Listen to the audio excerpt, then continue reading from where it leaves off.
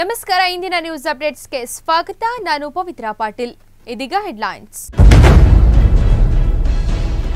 ನೆರೆ ಸಂತ್ರಸ್ತರಿಗೆ ತೊಂದರೆಯಾಗದ ಹಾಗೆ ನೋಡಿಕೊಳ್ಳಿ. ಸಮರ್ಪಕವಾಗಿ ಸರ್ಕಾರದಿಂದ ಬಂದ ಸೌಲಭ್ಯ ನೀಡಿ.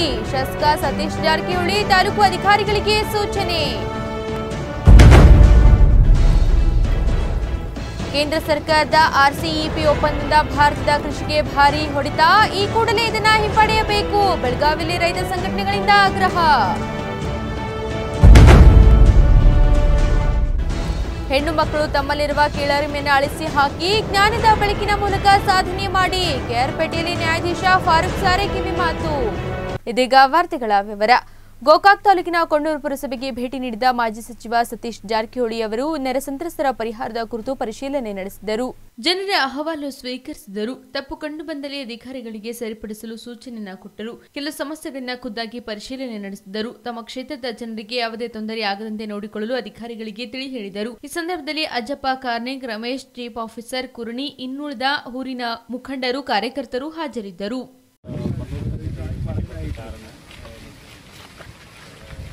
ಜನದ ಎಲ್ಲ ತಿಂಡಿ ಪಂಡ ಅಹವಾಲನ್ನು ಆಲಿಸಿದರು ಇದ್ರ ಬಗ್ಗೆ ನಿಮ್ಮ ಕಳೆದ ಎರಡು ಮೂರು ತಿಂಗಳಿಂದ ಎಲ್ಲ ಗ್ರಾಮಗಳಲ್ಲಿ ನಾವು ಸಂಚಾರ ಮಾಡ್ತಾ ಇದ್ದೀವಿ. ಆ ಸಂದರ್ಭದಲ್ಲಿ ಪಟ್ಟಣ ಪಂಚಾಯತಿ ಇರ್ಬೋದು ನಗರಸಭೆ ಇರ್ಬೋದು ಗ್ರಾಮ ಪಂಚಾಯತಿಯಲ್ಲಿ ಸಮಸ್ಯೆಗಳನ್ನು ಒಂದು ಸಾರಿ ನಾವು ಬರ್ತೀವಿ ಎಲ್ಲ ಅಧಿಕಾರಿಗಳು ಮೀಟಿಂಗ್ ಮಾಡ್ತೀವಿ.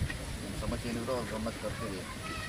ಮಾಡಿಕೊಡುವಂಥ ಪ್ರಯತ್ನ ಮಾಡಿ ಅಂತ ಹೇಳಿದ್ರೆ ಅಂಗವಾಗಿ ಅವ್ರು ಭೇಟಿ ಮಾಡಿದ್ವಿ ಸುಮಾರು ಅವರು ನೇರವಾಗಿ ತಮ್ಮ ಸಮಸ್ಯೆಗಳನ್ನು ಹೇಳಿದ್ದಾರೆ. ನಮ್ಮ ಗಮನ ಕೂಡ ಬಂದಿತ್ತು ಅದು ನಾವು ಕೆಲವು ಸುಧಾರಣೆ ಮಾಡಲಿಕ್ಕೆ ಅವರಿಗೆ ಸೂಚನೆ ಕೊಟ್ಟಿದ್ದೀವಿ. ಇನ್ನು ಕೆಲವನ್ನ ಟೈಮ್ ಬೇಕಾಗುತ್ತೆ. ತಕ್ಷಣ ಇವತ್ತೇ ಮಾಡಲಿಕ್ಕಾಗಲ್ಲ ಅದಕ್ಕೆ ಒಂದು ಟೈಮ್ ಕೊಟ್ಟಿದ್ದೀವಿ.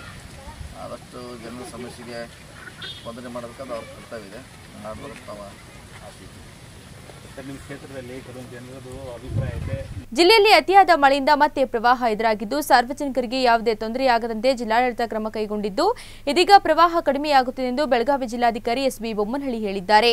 ಮಾಧ್ಯಮಗಳೊಂದಿಗೆ ಮಾತನಾಡಿದ ಅವರು, ಅಕ್ಟೋಬರ್ ಹತ್ತೊಂಬತ್ತರಿಂದ ಜಿಲ್ಲಾದ್ಯಂತ ನಿರಂತರ ಮಳೆಯಾಗುತ್ತಿದ್ದು, ಮಲಪ್ರಭಾ ನದಿಯ ಪ್ರವಾಹದಿಂದ ರಾಮದುರ್ಗ ಹಾಗೂ ಸವದತ್ತಿ ತಾಲೂಕಿನ ಕೆಲವು ಗ್ರಾಮಗಳು ತೊಂದರೆಯಲ್ಲಿ ಸಿಲುಕಿದ್ದವು. ಮೂವತ್ತಾರು ಸಾವಿರ ಕ್ಯೂಸೆಕ್ಸ್ ನೀರು ಬಿಟ್ಟಿದ್ದರಿಂದ ಚಿಕ್ಕ ಹಂಪಿಹೊಳಿ ಹಿರೇ ಹಂಪಿಹೊಳಿ ಸೇರಿದಂತೆ ಕೆಲವು ಗ್ರಾಮಗಳು ಜಲಾವೃತವಾಗಿದ್ದು, ಜನರನ್ನ ಸುರಕ್ಷಿತ ಸ್ಥಳಕ್ಕೆ ಸ್ಥಳಾಂತರಿಸಲಾಯಿತು. ಈಗ ಮಲಪ್ರಭಾ ನದಿಯ ನೀರಿನ ಮಟ್ಟ ಕಡಿಮೆಯಾಗಿದ್ದು ಐದು ಸಾವಿರ ಕ್ಯೂಸೆಕ್ಸ್ ಹೊರಹರಿವು ಇದೆ. ಕೃಷ್ಣಾ ನದಿಗೆ ಬರುವ ನೀರು ಕಡಿಮೆಯಾಗಿದೆ. ಇನ್ನು ಹವಾಮಾನ ಇಲಾಖೆಯು ಇನ್ನು ಎರಡು ದಿನ ಮಳೆಯಾಗುವ ಮುನ್ಸೂಚನೆ ನೀಡಿದೆ. ಜಿಲ್ಲೆಯಲ್ಲಿ ಎರಡು ಎನ್ಡಿಆರ್ಎಫ್ ತಂಡ ಹಾಗೂ ಅಗ್ನಿಶಾಮಕ ದಳ ಹಾಗೂ ಪೊಲೀಸ್ ತಂಡಗಳು ಕಾರ್ಯನಿರ್ವಹಿಸುತ್ತಿದ್ದು, ಸಾರ್ವಜನಿಕರಿಗೆ ಯಾವುದೇ ತೊಂದರೆಯಾಗದಂತೆ ಕ್ರಮ ಕೈಗೊಳ್ಳಲಾಗಿದೆ. ಇನ್ನು ಗೋಕಾಕ್ ಬೆಟ್ಟದಲ್ಲಿರುವ ಬೃಹತ್ ಬಂಡೆಕಲ್ಲು ಸ್ವಲ್ಪ ಕುಸಿದು ಆತಂಕ ಸೃಷ್ಟಿಸಿತ್ತು. ಅದನ್ನು ಪುಡಿ ಮಾಡುವ ಕಾರ್ಯ ಕೈಗೊಂಡಿದ್ದು, ಅಲ್ಲಿನ ಜನರಿಗೆ ಎಚ್ಚರಿಕೆ ನೀಡಲಾಗಿದೆ ಎಂದರು.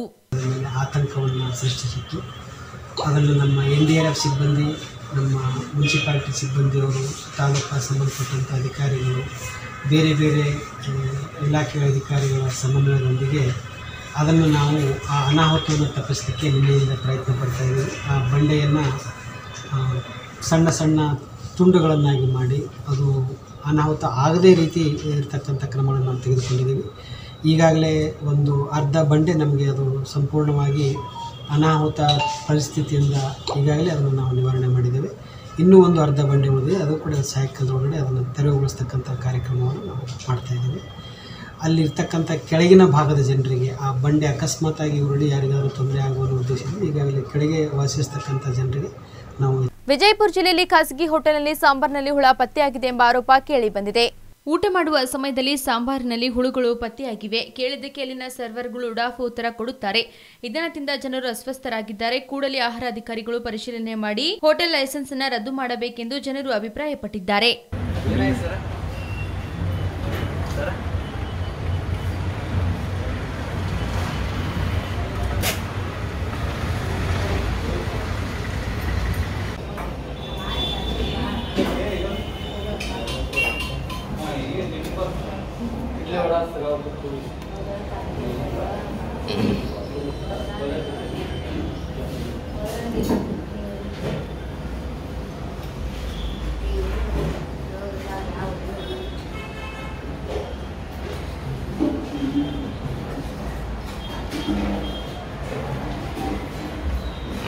ಇನ್ನೂರ ಹನ್ನೆರಡು ಕೋಟಿ ಅನುದಾನದ ಯೋಜನೆಯ ಸ್ಥಳವನ್ನು ನಿರ್ಮಲಾನಂದ ಸ್ವಾಮೀಜಿ ಹಾಗೂ ನಾಗಮಂಗಲ ಕ್ಷೇತ್ರದ ಶಾಸಕ ಸುರೇಶ್ ಗೌಡ ಭೇಟಿ ನೀಡಿ ವೀಕ್ಷಿಸಿದರು.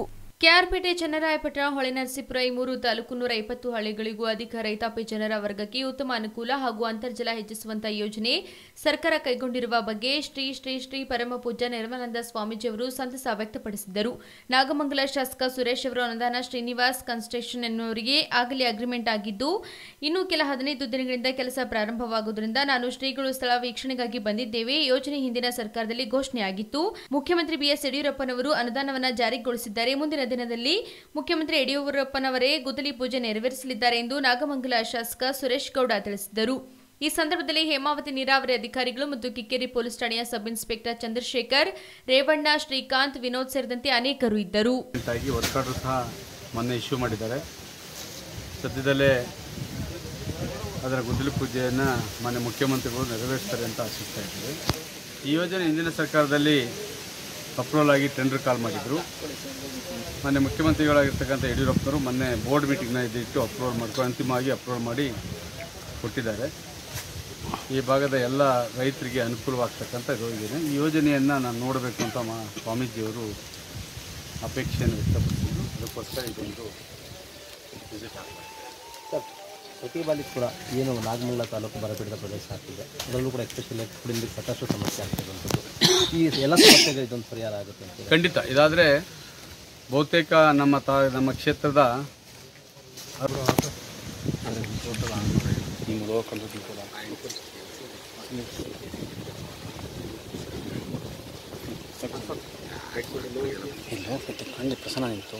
ನಾವು ಹೇಮಾವತಿ ನದಿಯ ತಟಾಕದಲ್ಲಿ ನಿಂತಿದ್ದೇವೆ ಈಗ. ನಮ್ಮ ಮೂರು ತಾಲೂಕಿನ ಕುಡಿಯೋ ನೀರಿನ ಯೋಜನೆಗೆ ಅಂತಂದ್ಬಿಟ್ಟು ಕೆರೆಗಳನ್ನು ತುಂಬಿಸುವ ಕೈಂಕರ್ಯಕ್ಕೆ ಈಗಾಗಲೇ ಸುಮಾರು ಇನ್ನೂರ ಹನ್ನೆರಡು ಕೋಟಿ ಮೊತ್ತದ ಒಂದು ಪ್ರಾಜೆಕ್ಟು ಸ್ಯಾಂಕ್ಷನ್ ಆಗಿದೆ. ಅದನ್ನು ಅತಿ ಶೀಘ್ರದಲ್ಲಿಯೇ ಕೆಲಸ ಪ್ರಾರಂಭ ಆಗುತ್ತೆ. ಅದರ ಒಂದು ಈ ಒಂದು ಕಾರ್ಯ ಆದಷ್ಟು ಬೇಗ ಪ್ರಾರಂಭ ಆದದ್ದೇ ಆದರೆ ಸುಮಾರು ಅರವತ್ತಕ್ಕಿಂತ ಹೆಚ್ಚಿನ ಕೇಂದ್ರ ಸರ್ಕಾರದ ಆರ್ಸಿಇಪಿ ಒಪ್ಪಂದದಿಂದ ಭಾರತದ ಕೃಷಿಯ ಮೇಲೆ ಭಾರಿ ಪರಿಣಾಮ ಬೀರಲಿದೆ. ಕೂಡಲೇ ಇದನ್ನು ಹಿಂಪಡೆಯಬೇಕೆಂದು ರೈತ ಸಂಘಟನೆಗಳು ಆಗ್ರಹಿಸಿ ಪ್ರತಿಭಟನೆ ನಡೆಸಿದರು.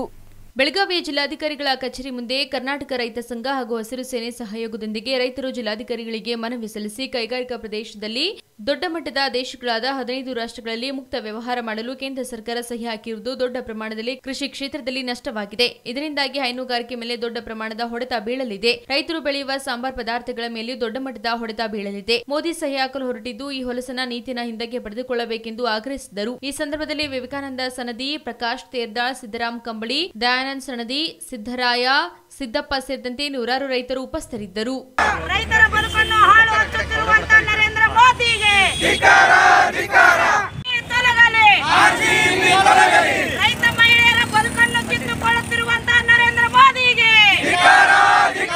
ಹೈನೋತ್ಪತ್ತಿಯನ್ನು ನಾಶ ಮಾಡುತ್ತಿರುವಂತ ನರೇಂದ್ರ ಮೋದಿಗೆ ಬೇಕೇ ಬೇಕು ಬೇಕೇ ಬೇಕು ಯಾತಕ್ಕಾಗಿ ಹೋರಾಟ ಬದ್ರಿನಾಥ ಭೀಮಾಪುರದ ಮನ ಎಂಬಲಿನ ಸರಸ್ವತಿ ನದಿಯು ಮೈದುಂಬಿ ಹರಿಯುತ್ತಿದೆ. ಸರಸ್ವತಿ ನದಿಯು ಗುಪ್ತಗಾಮಿನಿಯಾದ ಸ್ಥಳ ಬದ್ರಿನಾಥನ ಭೀಮಾಪುರದ ಮನ ಎಂಬಲಿ ಇದೆ.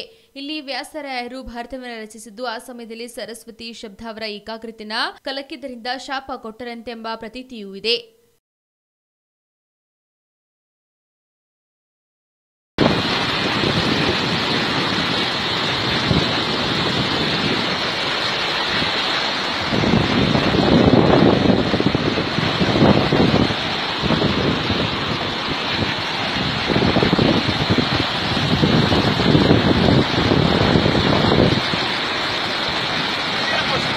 ಮಂಡ್ಯ ಕೆಆರ್ಪೇಟೆಯ ಕಾನೂನು ಸೇವಾ ಸಮಿತಿ ವಕೀಲರ ಸಂಘ ಶಿಕ್ಷಣ ಸಂಸ್ಥೆ ವತಿಯಿಂದ ಹಿರಿಯ ನಾಗರಿಕರ ದಿನ ಮತ್ತು ವಿಶ್ವ ಮಾನಸಿಕ ದಿನಾಚರಣೆ ಅಂಗವಾಗಿ ಜಾಗೃತಿ ಕಾರ್ಯಕ್ರಮ ನಡೆಸಿದರು. ಮಂಡ್ಯ ಕೆಆರ್ಪೇಟೆಯ ಸಿವಿಲ್ ನ್ಯಾಯಾಲಯದ ಕಿರಿಯ ಶ್ರೇಣಿ ನ್ಯಾಯಾಧೀಶರಾದ ಫಾರೂಕ್ ಝಾರೆ ಕಾರ್ಯಕ್ರಮ ಉದ್ಘಾಟಿಸಿ ಮಾತನಾಡಿ, ನಮ್ಮ ಭಾರತೀಯ ಸಂಸ್ಕೃತಿಯ ಆಶ್ರಯದಂತೆ ಹಿರಿಯರು ಹಾಗೂ ತಂದೆ ತಾಯಿಗಳನ್ನು ಗೌರವಿಸಬೇಕು. ಹೆಣ್ಣು ಮಕ್ಕಳು ತಮ್ಮಲ್ಲಿನ ಕೇಳರಿಮೆಯನ್ನು ಅಳಿಸಿ ಹಾಕಿ ಆತ್ಮವಿಶ್ವಾಸದಿಂದ ಮುನ್ನಡೆದು ಸಾಧನೆ ಮಾಡಬೇಕು. ದೈಹಿಕ ಆರೋಗ್ಯವನ್ನು ಕಾಪಾಡಿಕೊಳ್ಳುವಂತೆ ಮಾನಸಿಕ ಆರೋಗ್ಯವನ್ನು ಕಾಪಾಡಿಕೊಳ್ಳಲು ಒತ್ತಡಗಳಿಂದ ಮುಕ್ತರಾಗಲು, ಕ್ರಿಯಾಶೀಲತೆ ಹಾಗೂ ಲವಲಿಕೆಯನ್ನು ಬೆಳೆಸಿಕೊಂಡು ಸಾಧಕರಾಗುವ ಮೂಲಕ ತಂದೆ ತಾಯಿಗಳ ಕೀರ್ತಿನ ಬೆಳಗಬೇಕು ಎಂದು ನ್ಯಾಯಾಧೀಶ ಮನವಿ ಮಾಡಿದ್ದರಲ್ಲದೆ ಗ್ರಾಮೀಣ ಪ್ರದೇಶದ ಬಡ ವಿದ್ಯಾರ್ಥಿಗಳಿಗೆ ಗುಣಮಟ್ಟದ ಶಿಕ್ಷಣವನ್ನು ನೀಡುತ್ತಿರುವ ಆದಿ ಚುಂಚನಗಿರಿ ಶಿಕ್ಷಣ ಸಂಸ್ಥೆಗಳ ಕಾರ್ಯದಕ್ಷತೆಯನ್ನು ಪ್ರಶಂಸಿಸಿದರು. ಹೇಮಗಿರಿ ಶಾಖಾ ಮಠದ ಕಾರ್ಯದರ್ಶಿ ಡಾಕ್ಟರ್ ಜೆಎನ್ ರಾಮಕೃಷ್ಣೇಗೌಡ ಕಾರ್ಯಕ್ರಮದ ಅಧ್ಯಕ್ಷತೆ ವಹಿಸಿದ್ದರು. ವಕೀಲರ ಸಂಘದ ಪ್ರಧಾನ ಕಾರ್ಯದರ್ಶಿ ಕೆಎಂ ಪಾಂಡು, ಉಪಾಧ್ಯಕ್ಷ ಪ್ರಭಾಕರ್, ವಕೀಲರಾದ ಎಂಆರ್ ಪ್ರಸನ್ನಕುಮಾರ್, ಎನ್ಆರ್ ರವಿಶಂಕರ್, ತಾಲೂಕು ಕಸಾಪ ಮಾಜಿ ಅಧ್ಯಕ್ಷ ಡಾಕ್ಟರ್ ಕೆಆರ್ ನೀಲಕಂಠ ಕಾರ್ಯಕ್ರಮದಲ್ಲಿ ಭಾಗವಹಿಸಿದ್ದರು. ಬಗ್ಗೆ ಸ್ವಲ್ಪ ಈ ಸಂಸ್ಥೆಯ ಇತಿಹಾಸವನ್ನು ಸ್ವಲ್ಪ ಹೇಳಿದರು. ಇಂಥ ಒಂದು ಸಂಸ್ಥೆಯಲ್ಲಿ ನೀವು ಓದುತ್ತಿರೋರು ತುಂಬ ಅದೃಷ್ಟಶಾಲಿಗಳಂತ ನಾನು ಅನ್ಕೋತೀನಿ ಯಾಕೆಂದರೆ ನಾವು ಇವತ್ತು ಈ ಸ್ಥಾನದಲ್ಲಿ ಇರ್ಬೋದು, ಆದರೆ ನಾವು ಓದುವಂತಹ ಕಾಲದಲ್ಲಿ ಇಂಥ ಒಂದು ಸೌಲಭ್ಯಗಳಿರುವಂಥ ಸಂಸ್ಥೆಗಳಲ್ಲಿ ನಾವು ಓದಿಲ್ಲ. ವಿದ್ಯಾರ್ಥಿಗಳೇ, ಈ ಹಿರಿಯ ನಾಗರಿಕರ ದಿನ. ಇಲ್ಲಿರ್ತಕ್ಕಂಥ ಸುಮಾರು ಭಾರತ ಸರ್ಕಾರದ ವಾರ್ತಾ ಮತ್ತು ಪ್ರಸಾರ ಸಚಿವಾಲಯದ ಕಲಬುರಗಿ ವಿಭಾಗದ ಕ್ಷೇತ್ರದ ಜನಸಂಪರ್ಕ ಕಾರ್ಯಾಲಯದ ಕ್ಷೇತ್ರ ಪ್ರಚಾರ ಅಧಿಕಾರಿಯಾಗಿ ಶ್ರೀಮತಿ ಎಸ್ ಟಿ ಶ್ರುತಿಯವರು ಅಧಿಕಾರ ಸ್ವೀಕರಿಸಿದರು. ಬಳ್ಳಾರಿ ಕಲಬುರಗಿ ಕ್ಷೇತ್ರ ಜನಸಂಪರ್ಕ ಕಾರ್ಯಾಲಯದ ಉಪನಿರ್ದೇಶಕರಾದ ಡಾಕ್ಟರ್ ಜಿಡಿ ಹಳ್ಳಿಕೇರಿ ಅವರು ಶ್ರುತಿ ಅವರಿಗೆ ಅಧಿಕಾರ ಹಸ್ತಾಂತರಿಸಿದರು. ಕರ್ನಾಟಕ ಕೇಡರ್ ಎರಡ್ ಸಾವಿರದ ಹದಿನೇಳನೇ ಬ್ಯಾಚ್ನ ಐಎಎಸ್ ಗೆಜೆಟೆಡ್ ಬಿ ಗ್ರೂಪ್ ಅಧಿಕಾರಿಯಾಗಿರುವ ಇವರು ಹಾಸನ ಜಿಲ್ಲೆ ಸಕಲೇಶ್ಪುರದವರು. ಇವರು ಹಲವು ಖಾಸಗಿ ವಾಹಿನಿ, ದೂರದರ್ಶನ ಹಾಗೂ ಆಕಾಶವಾಣಿಗಳಲ್ಲಿ ಆಂಕರ್, ವರದಿಗಾರರಾಗಿ ಹಾಗೂ ಪ್ರವಾಸೋದ್ಯಮ ಇಲಾಖೆಯಲ್ಲಿ ಸಾರ್ವಜನಿಕ ಸಂಪರ್ಕ ಅಧಿಕಾರಿಯಾಗಿ ಸೇವೆ ಸಲ್ಲಿಸಿರುತ್ತಾರೆ. ಉಪನಿರ್ದೇಶಕರ ಕಚೇರಿ, ವಾರ್ತಾ ಮತ್ತು ಸಾರ್ವಜನಿಕ ಸಂಪರ್ಕ ಇಲಾಖೆ, ಕಲಬುರಗಿ ಕಚೇರಿಗೆ ಆಗಮಿಸಿದ ಶ್ರುತಿ ಅವರನ್ನ ಉಪನಿರ್ದೇಶಕರಾದ ಸಿದ್ದೇಶ್ವರಪ್ಪ ಅವರು ಉಗುಚ್ಚ ನೀಡಿ ಸನ್ಮಾನಿಸಿದರು. ರಾಜ್ಯದ ವೈದ್ಯಕೀಯ ಕಾಲೇಜುಗಳಲ್ಲಿ ಸೀಟ್ ಬ್ಲಾಕಿಂಗ್ ದಂಧೆ ನಡೆಯುತ್ತಿದೆ ಎಂಬುದು ಆದಾಯ ತೆರಿಗೆ ಇಲಾಖೆ ವಿಚಾರಣೆ ಬಳಿಕವಷ್ಟವೇ ಸ್ಪಷ್ಟವಾಗಬೇಕಿದೆ ಎಂದು ಉಪಮುಖ್ಯಮಂತ್ರಿ ಡಾಕ್ಟರ್ ಅಶ್ವಥ್ ನಾರಾಯಣ್ ತಿಳಿಸಿದ್ದಾರೆ. ಮಾಜಿ ಉಪಮುಖ್ಯಮಂತ್ರಿ ಡಾಕ್ಟರ್ ಜಿ ಪರಮೇಶ್ವರ್ ಅವರ ಶಿಕ್ಷಣ ಸಂಸ್ಥೆಗಳ ಮೇಲೆ ಐಟಿ ದಾಳಿ ನಡೆದ ಬಳಿಕ ಸೀಟು ಹಂಚಿಕೆ ಹಗರಣಕ್ಕೆ ಸಂಬಂಧಿಸಿದಂತೆ ಈ ದಾಳಿ ನಡೆದಿದೆಯೇ ಎಂಬ ಸುದ್ದಿಗಾರರ ಪ್ರಶ್ನೆಗೆ ಮಂಗಳೂರಿನಲ್ಲಿ ಶುಕ್ರವಾರದಂದು ಡಿಸಿಎಂ ಅಶ್ವಥ್ ನಾರಾಯಣ್ ಪ್ರತಿಕ್ರಿಯಿಸಿದರು. ಸೀಟು ಹಂಚಿಕೆಗೆ ಸಂಬಂಧಿಸಿದಂತೆ ಸರ್ಕಾರ ಮತ್ತು ವೈದ್ಯಕೀಯ ಕಾಲೇಜುಗಳ ನಡುವೆ ಇರುವ ಒಪ್ಪಂದದಲ್ಲಿ ಸೀಟ್ ಬ್ಲಾಕಿಂಗ್ಗೆ ಅವಕಾಶವಿದೆ. ಸೀಟ್ ಬ್ಲಾಕಿಂಗ್ ಬಗ್ಗೆ ದೂರು ಆರೋಪಗಳಿದ್ದರೂ ಒಪ್ಪಂದದಲ್ಲಿ ಅವಕಾಶ ಇರುವ ಕಾರಣ ತಪ್ಪಾಗಿದೆ. ಅಥವಾ ಸೀಟು ಬ್ಲಾಕಿಂಗ್ ಅವಕಾಶವನ್ನ ದುರ್ಬಳಕೆ ಆಗಿದೆ ಎಂದು ನೇರವಾಗಿ ಹೇಳಲು ಸಾಧ್ಯವಿಲ್ಲ. ಐಟಿ ಇಲಾಖೆ ತನಿಖೆಯಿಂದಷ್ಟೇ ಹೆಚ್ಚಿನ ಮಾಹಿತಿ ಗೊತ್ತಾಗಬೇಕಾಗಿದೆ ಎಂದು ತಿಳಿಸಿದರು. ಮಾಜಿ ಮುಖ್ಯಮಂತ್ರಿ ಸಿದ್ದರಾಮಯ್ಯಗೆ ಮಾಡುವುದಕ್ಕೆ ಏನು ಕೆಲಸ ಇಲ್ಲ, ಅದಕ್ಕಾಗಿ ಪಾದಯಾತ್ರೆ ಮಾಡುತ್ತಿದ್ದಾರೆ ಎಂದು ಉಪಮುಖ್ಯಮಂತ್ರಿ ಗೋವಿಂದ್ ಕಾರಜೋಳ್ ಹೇಳಿದ್ದಾರೆ. ಬಾಗಲಕೋಟೆಯಲ್ಲಿ ಶುಕ್ರವಾರ ಮಾಧ್ಯಮಗಳೊಂದಿಗೆ ಮಾತನಾಡಿದ ಅವರು, ಸಿದ್ದರಾಮಯ್ಯ ಪಾದಯಾತ್ರೆ ವಿಚಾರವಾಗಿ ಪ್ರತಿಕ್ರಿಯೆ ನೀಡಿದ್ರು. ಜನ ಬಹಳ ಬುದ್ಧಿವಂತರಿದ್ದಾರೆ. ಯಾರ ವೈಫಲ್ಯ, ಯಾರಿಗೂ ಏನು ಮಾಡಕ್ಕಾಗಲ್ಲ. ಯಾಕೆಂದ್ರೆ ಸಿಎಂ ಇದ್ದಾಗ ವಿಧಾನಸೌಧದಲ್ಲಿ ಕೆಲಸ ಮಾಡಬೇಕಾಗಿತ್ತು. ಈಗೇನೆಲ್ಲ ಖಾಲಿ ಇದ್ದಾರೆ. ಪಾದಯಾತ್ರೆ ಮಾಡ್ತಾರೆ, ಮಾಡ್ಲಿ ಎಂದ್ರು ನಂತರ ವಿಧಾನಸಭೆಯಲ್ಲಿನ ಚರ್ಚೆ ಹದಿನೈದು ನಿಮಿಷದಲ್ಲೇ ಯಡಿಯೂರಪ್ಪ ಮುಗಿಸಿದರು ಅನ್ನೋ ಸಿದ್ದರಾಮಯ್ಯ ಆರೋಪ ವಿಚಾರವಾಗಿ ಪ್ರತಿಕ್ರಿಯೆ ನೀಡಿದ ಅವರು, ಸಂವಾದ ಎಷ್ಟು ಟೈಮ್ ಮಾಡಿದ್ದಾರೆ ಅನ್ನೋದು ಮುಖ್ಯ ಅಲ್ಲ. ಆಗಸ್ಟ್ನಿಂದ ಇಲ್ಲಿಯವರೆಗೆ ಸರ್ಕಾರ ಏನೇನು ಕೆಲಸ ಮಾಡಿದೆ ಅನ್ನೋದು ಮುಖ್ಯ. ಈಗ ನೆರೆ ಸಂತ್ರಸ್ತರಿಗೆ ಕೂಡ ಪರಿಹಾರ ಕೇಂದ್ರ ಆರಂಭ ಮಾಡಿದ್ದೀವಿ. ತುರ್ತು ಪರಿಹಾರ ಕೊಟ್ಟಿದ್ದೀವಿ ಎಂದು ತಿಳಿಸಿದರು. ನೆರೆಯಲ್ಲಿ ಸಿಕ್ಕಿ ಹಾಕಿಕೊಂಡವರನ್ನ ಪಾರು ಮಾಡಲಿಕ್ಕೆ ಏನೇನು ಕ್ರಮ ಬೇಕು ಎಲ್ಲವನ್ನ ತೆಗೆದುಕೊಂಡಿದ್ದೇವೆ. ರಸ್ತೆಗಳು, ಶಾಲೆ, ಕಾಲೇಜುಗಳ ದುರಸ್ತಿಗಾಗಿ ಹಣ ಬಿಡುಗಡೆ ಮಾಡಿದ್ದೆವು. ಸರ್ಕಾರದ ಕೆಲಸ ನಡೀತಿದೆ. ಕಂಟಿನ್ಯೂಸ್ ಆಗಿ ಮಳೆ ಬರ್ತಾ ಇದೆ. ಅದಕ್ಕಾಗಿ ಸ್ವಲ್ಪ ತೊಂದರೆ ಇದೆ. ಅದು ಜನರಿಗೆ ಗೊತ್ತು. ಜನರೇನು ದಡ್ಡರಲ್ಲ ಎಂದು ನುಡಿದರು. ಹರಿಯಾಣ ಮತ್ತು ಮಹಾರಾಷ್ಟ್ರ ಫಲಿತಾಂಶದ ಬಗ್ಗೆ ರಾಜ್ಯದಲ್ಲಿ ವಿಭಿನ್ನ ಅಭಿಪ್ರಾಯಗಳು ವ್ಯಕ್ತವಾಗಿವೆ. it. ಅದರಲ್ಲೂ ಬಿಜೆಪಿ ಐಜಾಕ್ ಮಾಡಿದ ಎನ್ಸಿಪಿಯ ಇಪ್ಪತ್ತು ಶಾಸಕರಲ್ಲಿ ಹದಿನೈದು ಮಂದಿ ಸೋತಿದ್ದು ಕೇವಲ ಐವರು ಮಾತ್ರ ಪ್ರಯಾಸದ ಗೆಲುವು ಕಂಡಿದ್ದಾರೆ. ಇದು ಪಕ್ಷಾಂತರಗಳಿಗೆ ಉಳಿಗಾಳವಿಲ್ಲ ಎಂದು ಸಂದೇಶ ರವಾನಿಸಿದ್ದು, ರಾಜ್ಯದ ಹದಿನೇಳು ಮಂದಿ ಅನರ್ಹ ಶಾಸಕರಲ್ಲೂ ಚಿಂತೆ ಹೆಚ್ಚಿದೆ. ಈ ಎರಡು ರಾಜ್ಯಗಳ ಫಲಿತಾಂಶ ಸೋತು ಸುಣ್ಣವಾಗಿರುವ ಕಾಂಗ್ರೆಸ್ ನಾಯಕರಲ್ಲಿ ಹುಮ್ಮಸ್ಸು ಮೂಡಿಸಿದೆ. ಮುಂದಿನ ದಿನಗಳಲ್ಲಿ ನಮ್ದೇ ಗೆಲುವು ಅಂತಿದ್ದಾರೆ. ಮೋದಿಗೆ ಜನ ಬೆಂಬಲ ಕಡಿಮೆಯಾಗ್ತಿದೆ ಎಂದಿದ್ದಾರೆ ಸಿದ್ದರಾಮಯ್ಯ. ಇನ್ನು ಮಾಜಿ ಸಿಎಂ ಕುಮಾರಸ್ವಾಮಿ ದೇಶದಲ್ಲಿ ವಿರೋಧ ಪಕ್ಷಗಳೇ ಇರಬಾರದೆಂಬ ತೀರ್ಮಾನಕ್ಕೆ ಬಿಜೆಪಿ ಬಂದಿದೆ. ಆದ್ರೆ ಈ ಫಲಿತಾಂಶ ಅವರಿಗೆ ಎಚ್ಚರಿಕೆಯ ಗಂಟೆ ಎಂದಿದ್ದಾರೆ ಇಂದಿರಾ ಗಾಂಧಿ ವಿರುದ್ಧ ಜೆಪಿ ಆಂದೋಲನ ಆರಂಭವಾಗುತ್ತಿದ್ದಂತೆ ಈಗ ಮೋದಿ ವಿರುದ್ಧ ಅಂತಹುದ್ದೇ ಚಳವಳಿ ಪ್ರಾರಂಭವಾಗಬೇಕಿದೆ ಅಂತಲೂ ಹೇಳಿದ್ದಾರೆ. ಆದ್ರೆ ಸಿಎಂ ಯಡಿಯೂರಪ್ಪ ಅಭಿಪ್ರಾಯವೇ ಬೇರೆ. ಕಾಂಗ್ರೆಸ್ ಅಸ್ತಿತ್ವ ಕಳೆದುಕೊಳ್ಳುತ್ತಿದೆ. ಅವರದ್ದು ಅಡ್ರೆಸ್ಸೇ ಇಲ್ಲ. ಈ ಫಲಿತಾಂಶ ಕರ್ನಾಟಕದ ಬೈ ಎಲೆಕ್ಷನ್ ಮೇಲೆ ಪರಿಣಾಮ ಬೀರಲಿದೆ ಎಂದಿದ್ದಾರೆ. ಒಂಬತ್ತು ವರ್ಷಗಳ ನಂತರ ಸಿದ್ದರಾಮಯ್ಯ ನೇತೃತ್ವದಲ್ಲಿ ಮತ್ತೊಂದು ಬೃಹತ್ ಪಾದಯಾತ್ರೆ ಕಾಂಗ್ರೆಸ್ ಸಿದ್ಧ ಮಾಡಿಕೊಂಡಿದೆ ಎರಡ್ ಸಾವಿರದ ಹತ್ತರಲ್ಲಿ ಬಿಜೆಪಿ ಸರ್ಕಾರದ ವಿರುದ್ಧ ಸಿದ್ದರಾಮಯ್ಯ ಸಿದ್ದರಾಮಯ್ಯ ಬೆಂಗಳೂರಿನಿಂದ ಬಳ್ಳಾರಿಯವರೆಗೆ ಪಾದಯಾತ್ರೆ ನಡೆಸಿ ಬೃಹತ್ ಹೋರಾಟಕ್ಕೆ ನಾಂದಿ ಹಾಡಿದ್ರು. ಇದರ ಯಶಸ್ವಿನಿಂದಾಗಿಯೇ ಕಾಂಗ್ರೆಸ್ ಅಧಿಕಾರಕ್ಕೆ ಬಂದು ಸಿದ್ದರಾಮಯ್ಯ ಅವರ ನೇತೃತ್ವದಲ್ಲಿಯೇ ಐದು ವರ್ಷ ಪೂರ್ಣಾವಧಿ ಸರ್ಕಾರ ಕೂಡ ನಡೆಸಿತ್ತು. ಸದ್ಯ ವಿಧಾನಸಭೆ ಪ್ರತಿಪಕ್ಷದ ನಾಯಕರಾಗಿರುವ ಸಿದ್ದರಾಮಯ್ಯ, ರಾಜ್ಯ ಹಾಗೂ ಕೇಂದ್ರ ಬಿಜೆಪಿ ಸರ್ಕಾರಗಳು ನೆರೆ ಪರಿಹಾರ ನೀಡಿಕೆಯಲ್ಲಿ ವಿಳಂಬ ಧೋರಣೆ ತೋರುತ್ತಿವೆ ಎಂದು ಆಗ್ರಹಿಸಿ ನೆರೆಯಿಂದ ಸಮಸ್ಯೆಗೆ ಈಡಾಗಿರುವ ಬಾಗಲಕೋಟೆಯಿಂದ ಬೆಳಗಾವಿಯವರೆಗೆ ಬೃಹತ್ ಪಾದಯಾತ್ರೆ ನಡೆಸಲು ಕಾಂಗ್ರೆಸ್ ಸಿದ್ಧತೆ ಮಾಡಿಕೊಳ್ಳುತ್ತಿದೆ. ಈ ಪಾದಯಾತ್ರೆಯ ನೇತೃತ್ವವನ್ನ ಮತ್ತೆ ಸಿದ್ದರಾಮಯ್ಯ ಅವರೇ ವಹಿಸಲಿದ್ದಾರೆ. ರಾಜ್ಯದ ಎಲ್ಲ ಕಾಂಗ್ರೆಸ್ ನಾಯಕರು ಈ ಪಾದಯಾತ್ರೆಯಲ್ಲಿ ಪಾಲ್ಗೊಳ್ಳಲಿದ್ದಾರೆ. ಬರುವ ಇದೇ ನವೆಂಬರ್ ತಿಂಗಳು ಎರಡು ಇಲ್ಲವೇ ಮೂರನೇ ವಾರ ಪಾದಯಾತ್ರೆ ನಡೆಸಲು ತೀರ್ಮಾನಿಸಲಾಗಿದೆ. ಕೆಪಿಸಿಸಿ ಅಧ್ಯಕ್ಷ ದಿನೇಶ್ ಗುಂಡೂರಾವ್ ನೇತೃತ್ವದಲ್ಲಿ ಇದಕ್ಕೆ ರೂಪರೇಷ ಎಣೆಯುವ ಕಾರ್ಯ ನಡೆಯುತ್ತಿದೆ. ಅರಬಿ ಸಮುದ್ರದಲ್ಲಿ ವಾಯುಭಾರ ಕುಸಿತ ಹಿನ್ನೆಲೆಯಲ್ಲಿ ರಾಜ್ಯದ ಕರಾವಳಿ ಹಾಗೂ ಮಲೆನಾಡು ಭಾಗದಲ್ಲಿ ಭಾರಿ ಮಳೆಯಾಗುವ ಸಾಧ್ಯತೆ ಇದೆ ಎಂದು ಹೇಳಲಾಗಿದೆ.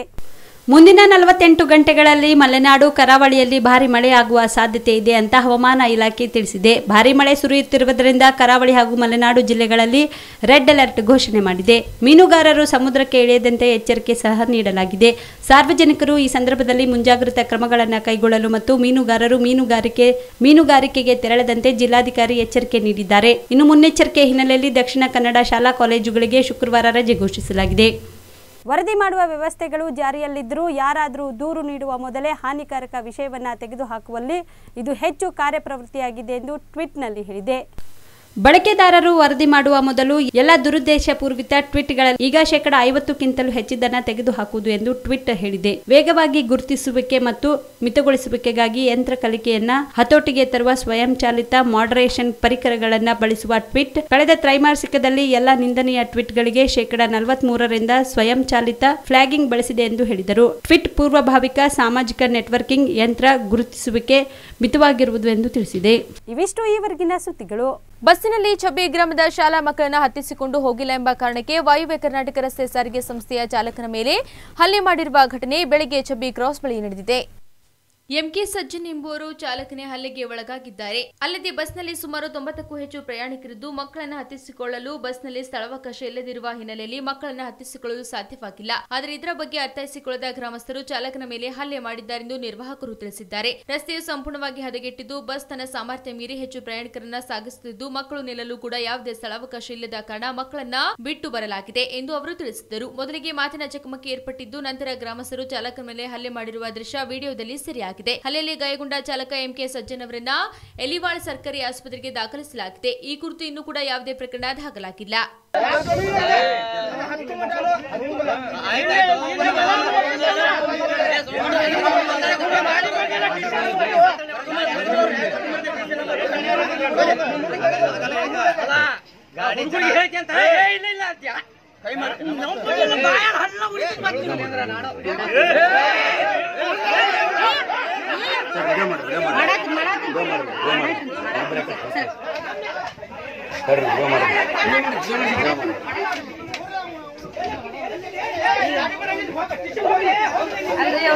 ಗದಗ ಜಿಲ್ಲೆಯ ಸೊರಟೂರು ಗ್ರಾಮದಲ್ಲಿ ಇತ್ತೀಚೆಗೆ ಸುರಿಯುತ್ತಿರುವ ಮಳೆಯಿಂದಾಗಿ ಬಾವಿಗಳು, ಕೆರೆಕಟ್ಟೆಗಳು ಹಳ್ಳ ಕೊಳ್ಳಗಳು ತುಂಬಿ ಹರಿಯುತ್ತಿರುವುದರಿಂದ ಗ್ರಾಮಸ್ಥರಲ್ಲಿ ಸಂತಸ ಮೂಡಿದೆ. ಗದಗ ಜಿಲ್ಲೆಯ ಗದಗ ತಾಲೂಕಿನ ಸೊರಟೂರು ಗ್ರಾಮದಲ್ಲಿ ಇತ್ತೀಚೆಗೆ ಸುರಿಯುತ್ತಿರುವ ಮಳೆಯಿಂದಾಗಿ ಕೆರೆ ಹಳ್ಳ ಕೊಳ್ಳಗಳು ತುಂಬಿಕೊಂಡಿದ್ದ ಕಾರಣಕ್ಕಾಗಿ ಗ್ರಾಮದ ಅತ್ತಿಕಟ್ಟೆ ರಸ್ತೆಯಲ್ಲಿರುವ ದನಕರುಗಳಿಗೆ ಮತ್ತು ರೈತರಿಗೆ ಸುಮಾರು ವರ್ಷಗಳಿಂದ ನೀರಿನ ಹಾಹಾಕಾರ ಆಗಿತ್ತು.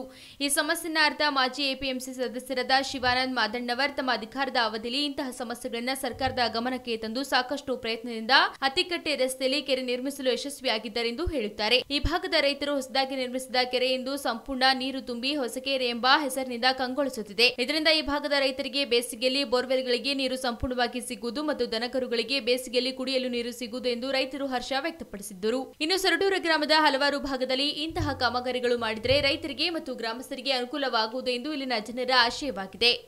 ತುಂಬಿ ಹರಿದೈತಂದ್ರೆ ಇಷ್ಟು ನೀರು ಇರಲಿಲ್ಲ ನಮ್ಮ ಊರಿಗೆ ಮೇಲ್ತಟ್ಟು ಇರೋದ್ರಿಂದ ನಮ್ಮ ಊರ ಅಂತರ್ಜಲ ಹೆಚ್ಚಾಗುವಂಥ ಗುರಿ ಇದು ನಮ್ದು ಐತಿ ಇನ್ನೂ ಇದನ್ನು ದೊಡ್ಡ ಪ್ರಮಾಣದಾಗ ಮಾಡ್ಬೇಕಂತ ಮನ್ನಿನೂ ಸಹಿತ ನಾ ಸಾಹೇಬ್ರಿಗೆ ಇದು ಮೊನ್ನೆಕ್ಕೆ ಸಲ ಈ ಪ್ರಮಾಣ ತುಂಬಿರಲಿಲ್ಲ, ಅವತ್ತು ಹೇಳಿದ್ವಿ ಎಚ್ ಕೆ ಪಾಟೀಲ್ ಸಾಹೇಬರಿಗೆ. ಅವರಿಗೆ ಭಾಳ ನಾವು ಕೃತಜ್ಞತೆ ಹೇಳಬೇಕು.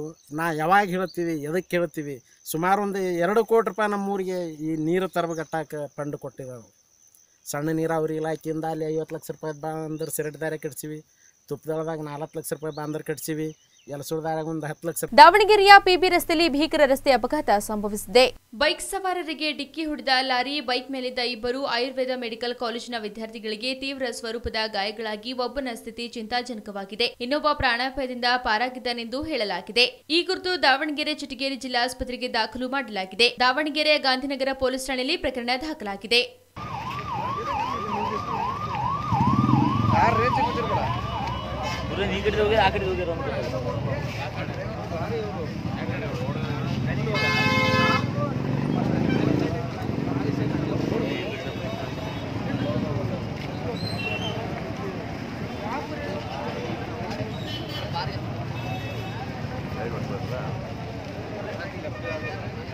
ಕ್ಷೇತ್ರ ಪ್ರಾಚಾರಾಧಿಕಾರಿಯಾಗಿ ಎಸ್ಟಿ ಶ್ರುತಿ ಅಧಿಕಾರ ಸ್ವೀಕರಿಸಿದ್ದಾರೆ. ಬಳ್ಳಾರಿ ಕಲಬುರಗಿ ಕ್ಷೇತ್ರ ಜನಸಂಪರ್ಕ ಕಾರ್ಯಾಲಯದ ಉಪನಿರ್ದೇಶಕರಾದ ಡಾಕ್ಟರ್ ಜಿ ಡಿ ಹಳ್ಳಿಕೇರಿ ಅವರು ಶ್ರುತಿ ಅವರಿಗೆ ಅಧಿಕಾರ ಹಸ್ತಾಂತರಿಸಿದರು. ಕರ್ನಾಟಕ ಕೇಡರ್ ಎರಡ್ ಸಾವಿರದ ಹದಿನೇಳನೇ ಬ್ಯಾಚ್ನ ಐಎಎಸ್ ಗೆಜೆಟೆಡ್ ಬಿ ಗ್ರೂಪ್ ಅಧಿಕಾರಿಯಾಗಿರುವ ಇವರು ಹಾಸನ ಜಿಲ್ಲೆ ಸಕಲೇಶ್ಪುರದವರು. ಇವರು ಹಲವು ಖಾಸಗಿ ವಾಹಿನಿ, ದೂರದರ್ಶನ ಹಾಗೂ ಆಕಾಶವಾಣಿಗಳಲ್ಲಿ ಆಂಕರ್, ವರದಿಗಾರರಾಗಿ ಹಾಗೂ ಪ್ರವಾಸೋದ್ಯಮ ಇಲಾಖೆಯಲ್ಲಿ ಸಾರ್ವಜನಿಕ ಸಂಪರ್ಕ ಅಧಿಕಾರಿಯಾಗಿ ಸೇವೆ ಸಲ್ಲಿಸಿರುತ್ತಾರೆ. ಉಪನಿರ್ದೇಶಕರ ಕಚೇರಿ ವಾರ್ತಾ ಮತ್ತು ಸಾರ್ವಜನಿಕ ಸಂಪರ್ಕ ಇಲಾಖೆ ಕಲಬುರಗಿ ಕಚೇರಿಗೆ ಆಗಮಿಸಿದ ಶ್ರುತಿ ಅವರನ್ನ ಉಪನಿರ್ದೇಶಕರಾದ ಸಿದ್ದೇಶ್ವರಪ್ಪ ಅವರು ಉಗುಚ್ಚ ನೀಡಿ ಸನ್ಮಾನಿಸಿದರು. ಗ್ರಾಮದ ಮೇಲೆ ದೇವರ ಕೃಪೆ ಇರಲೆಂದು ಶ್ರೀ ಭೀಮೇಶ್ವರರು ಹಾಕಿಕೊಟ್ಟ ಹಳ್ಳದ ಜಾತ್ರೆ ಸಂಭ್ರಮ ಸಡಗರದಿಂದ ಜರುಗಿತು. ಕಾಳಗಿ ತಾಲೂಕಿನ ಟೆಂಗಳಿ ಗ್ರಾಮದ ದೈವ ಶ್ರೀ ಭೀಮೇಶ್ವರರು ಅಂದು ಹಾಕಿಕೊಟ್ಟ ಹಳ್ಳದ ಜಾತ್ರೆ ಇಂದಿಗೂ ಸಂಭ್ರಮ ಸಡಗರದಿಂದ ಆಚರಿಸಲಾಗುತ್ತಿದೆ. ಪ್ರತಿ ವರ್ಷ ದೀಪಾವಳಿ ಅಮಾವಾಸ್ಯೆ ತ್ರಿಯಾದಿಶಿಯಂದು ಹಳ್ಳದ ಜಾತ್ರೆ ಆಚರಿಸಲಾಗುತ್ತದೆ. ಅದಕ್ಕಿಂತ ಒಂದು ವಾರ ಮುನ್ನ ರಾತ್ರಿಯಂದು ಗ್ರಾಮದ ಮುಖಂಡರು ಭಜನೆ ಮಾಡುತ್ತಾ ದೇವರ ನಾಮ ಸ್ಫಟಿಸುತ್ತಾ ಮನೆ ಮನೆಗೆ ತೆರಳುತ್ತಾರೆ. ಏಕದಾರಿ ನುಡಿಸುತ್ತಾ ಶರಣಯ್ಯ ಮಠಪತಿ ರೇವಣಸಿದ್ದ ಹಿರೇಮಠ ಅವರುಗಳು ಪ್ರತಿ ಮನೆ ಮನೆಗೂ ತೆರಳಿ ಧಾನ್ಯ ಸಂಗ್ರಹಣೆ ಮಾಡುತ್ತಾರೆ.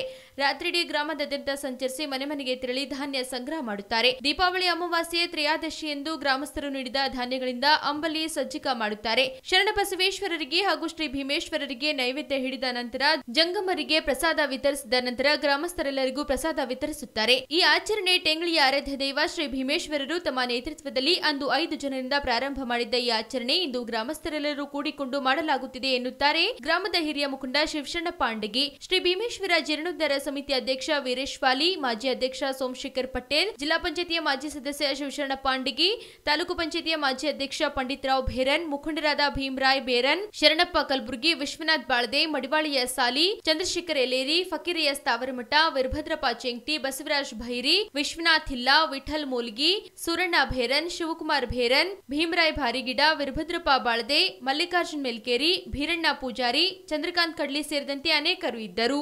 ಯಾಕಂದ್ರೆ ಇದು ಹಳ್ಳಿ ಜಾತ್ರೆ ಅಂತೇಳಿ ಅವ್ರು ಸ್ವಂತ ಅಂದ್ರೆ ಅವ್ರ ಸ್ವಇಚ್ಛೆಯಿಂದ ಅವ ಐದು ಮಂದಿಗೆ ತಗೊಂಡು ಏನಾರ ಹಳ್ಳಿ ಜಾತ್ರೆ ಮಾಡ್ತಾರೆ ಈಗ ಊರಿಗೆ ಊರು ಕಲ್ತು ಚಾರ್ಸೆ ಪಾನ್ಸೆ ಜನ ಕಲ್ತು ಹಳ್ಳಿ ಜಾತ್ರೆ ಸರಿಯಾಗಿ ಮಾಡ್ಲಕತ್ತಾರೆ. ಅದಕ್ಕೆ ಭೀಮೇಶ್ವರ ಮತ್ತು ಅಂಬ ದುರ್ಗಾದೇವಿ. ಇವ್ರದ್ದು ಆಶೀರ್ವಾದ ನಮ್ಮೆಲ್ಲರಿಗೂ ಇರಲಿ ಅಂತೇಳಿ ನಾನು ಭೀಮಸ್ಥಲ್ಲಿ ಬೇಡಿಕೊಂಡು ಇವತ್ತಿನ ಈ ಕಾರ್ಯಕ್ರಮ ಒಳ್ಳೆಯ ಸುಚಿತ್ರವಾಗಿ ನಡೆದುಕೊಂಡು ಹೋಗಲಿ ಅಂತೇಳಿ ಆ ಪರಮಾತ್ಮನಲ್ಲಿ ಬೇಡಿಕೊಂಡು. ಇದಿವತ್ತಿನ ನ್ಯೂಸ್ ಅಪ್ಡೇಟ್ಸ್ ಹೀಗೆ ನೋಡ್ತಾ ಇರಿ.